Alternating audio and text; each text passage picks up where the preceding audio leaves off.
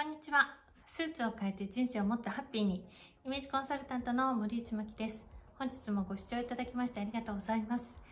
今日はこれからスーツをオーダーする際に失敗しないポイントについてお伝えしていきたいと思います。またこんなこと言うテーラーさん、店員さんには注意してくださいねっていうテーラーさん選びの参考にしていただけるような内容も同時にお伝えしていきたいと思いますので、ぜひ最後までご視聴ください。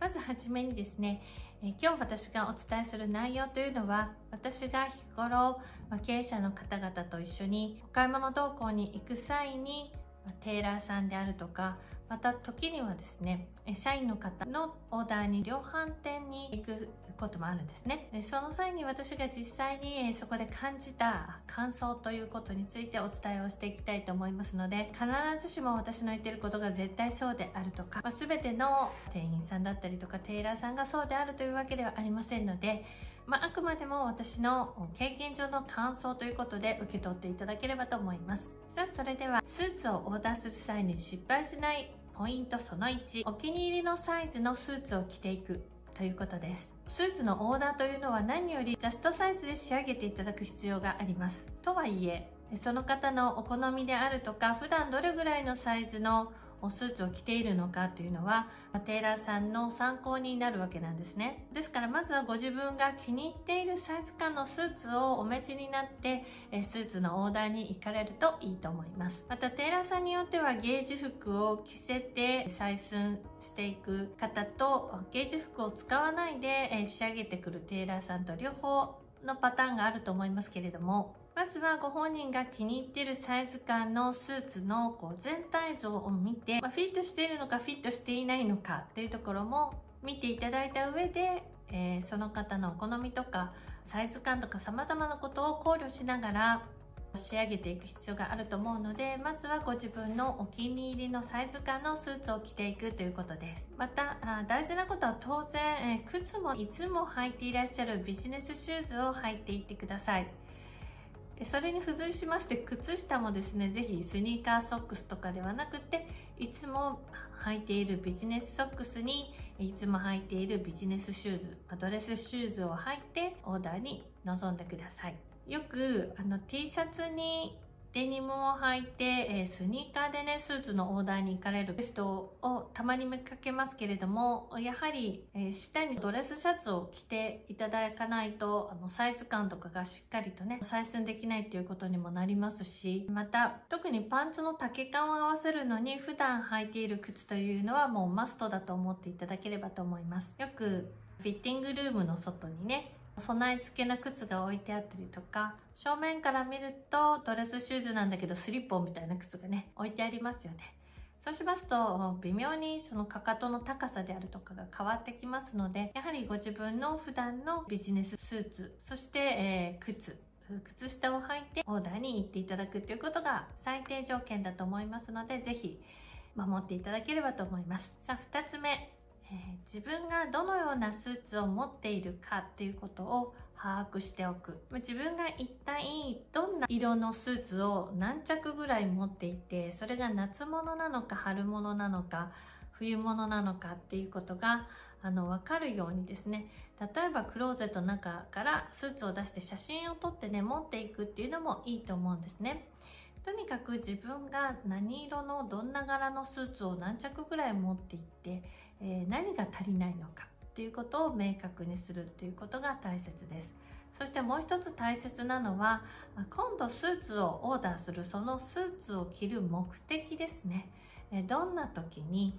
着るのか。そしてどのような印象を与えたいのかっていうそのオーダースーツを作る目的などを明確にしておくといいと思います。テーラーさんとのやり取りで、えー、今回はどのような目的でスーツを作られるんですかっていうのは必ず聞かれるので、それが明確になるっていうのが一つと、もう一つは、やはり、えー、せっかくオーダーしたのに家に帰って、えー、見たら同じようなスーツがあったっていう話は本当によく聞きますので、え自分がどのようなスーツを持っているのかっていうことは、ま、最低限把握してから行くっていうのが大切だと思います。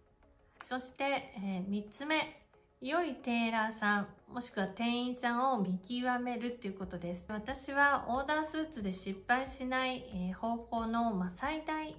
は、やはり良いテーラーさんを見極める。良い店員さんを見極めるということになるのかなと思っています。満足いくオーダースーツを作るためにはですね欠かせない一番の大きなポイントかなと思っています本当に親切で経験豊富で凄腕のテーラーさんもたくさんいます。私が今日特にお伝えしたいのはあまりお客様の要望とかお好みなどを聞かないで流れ作業的にスーツのオーダーを受けている店員さんには少し注意が必要だなと思っています。本当にあの適当に採取するなっていうような人がいるのもまあ事実なんですね。だからといって全ての人がそうだと言っているわけではありませんので、まあ、そこだけご了承いただければと思います。でこんな店員さんには注意が必要だよという言動をね、今からお伝えしていきたいと思いますので、そのあたりでジャッジしていただければと思います。まず1つ目、パンツの丈を短くしたがる傾向があるかなと思っています。例えば、裾上げの時にあのピンで留めたりする際にですね正面を向いていただいてパンツの裾が靴の甲にかからないようであれば確実に短いと思っていただいていいと思います。先日も同行した際にパンツの丈を確認したらすごい短いことになっていたので私がパンツの丈ですけどっていうふうに店員さんに話しかけたらえ、もっと短くしますかっておっしゃったので、いやいや、もっと長くしてくださいって言ったら、店員さんが、え、もっと長くするんですか？今はだいたいこんな感じなんですよって言ってきたんですね。まあ、そこでバチバチな感じになったんですけど、靴下が見えるのは困るので、もう少しだけ、えハーフクッションぐらいまで、え長くしてもらえませんかということで、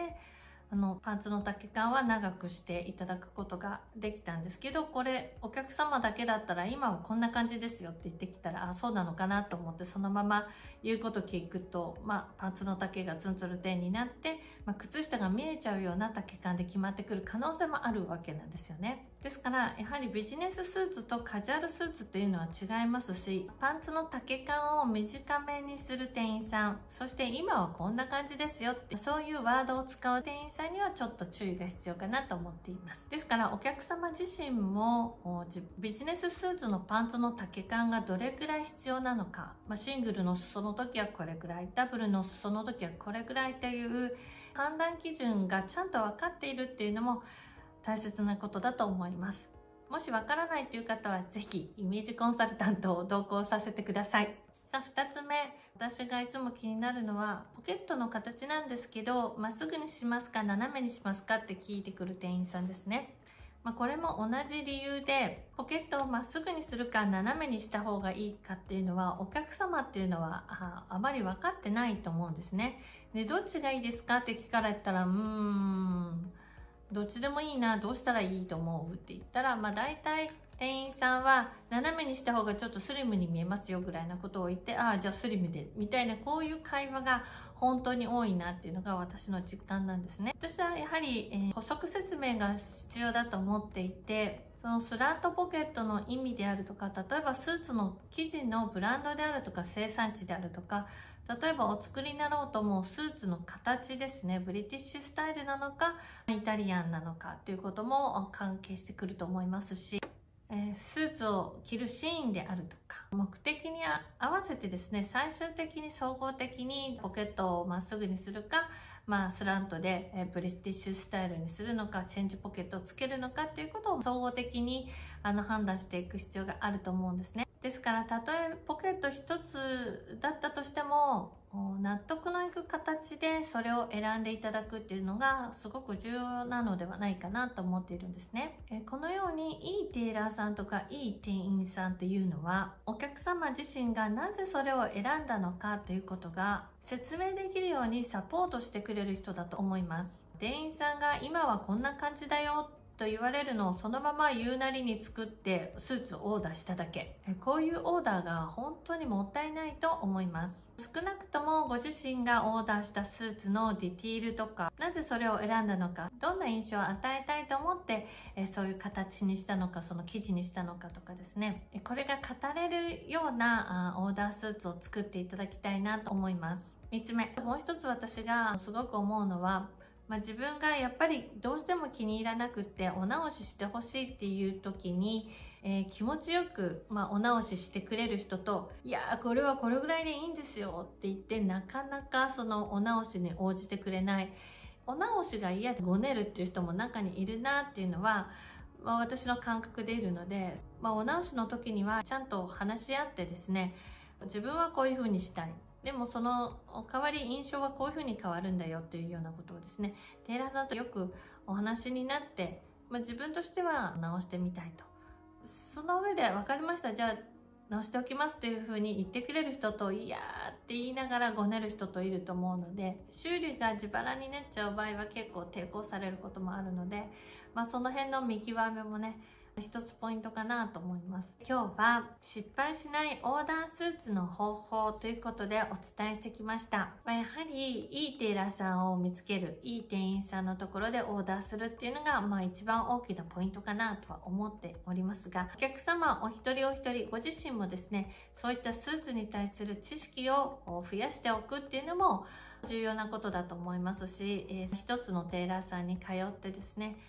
相談しながら何着か作っていくうちに、まあ、分かってくることかもしれませんしまた私の動画を見て勉強していただいてもいいと思いますので、まあ、これからはですねスーツのオーダーの方法ですとかあシャツのオーダーの方法ですとかまた改めてね撮っていきたいと思いますので何かご意見とかご要望があればコメントいただけると嬉しいと思います。